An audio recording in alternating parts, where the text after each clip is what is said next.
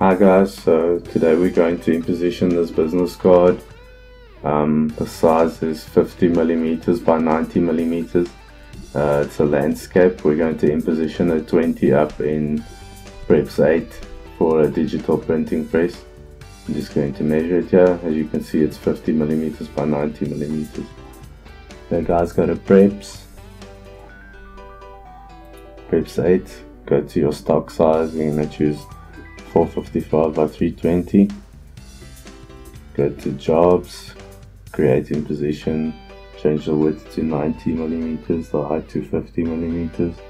Horizontal 4 vertical 5 head up is fine make it head to foot.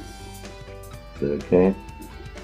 Then change the double cuts to your preferences. I'm just going to change it to the business card cutter size you just type in your your measurement and then tab and then it will change the measurement.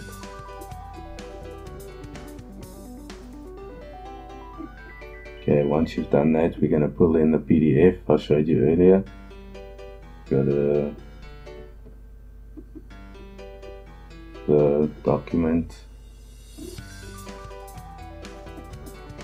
Open the PDF that you want to pull in go to your pages tab at the top then drag the PDF onto your your first page of your imposition and it will assign the PDF into the imposition.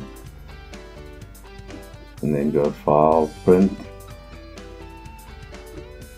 change it to PDF and then click on print and then just give it a name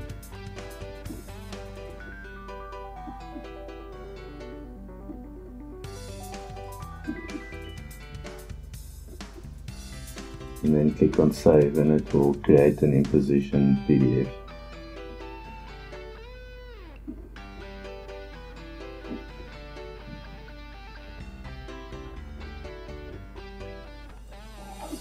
Okay guys, so let's open the imposition PDF. We saved it. You can see it's an import PDF now.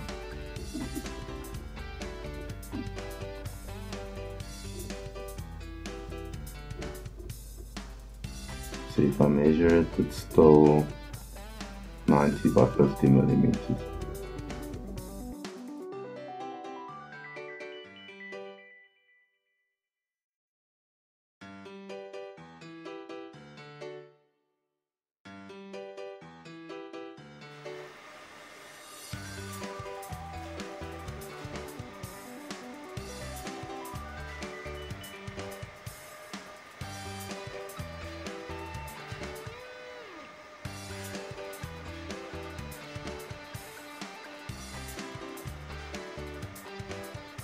Okay, so this is our digital printing press and you can see the business cards about to be printed, the imposition business card we just did.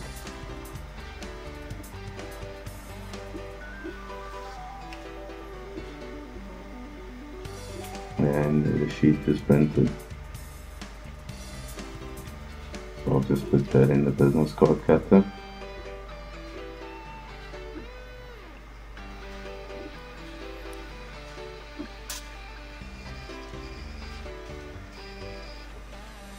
Okay guys, so that's basically how you imposition a uh, business card on for digital press on website. Thanks for watching.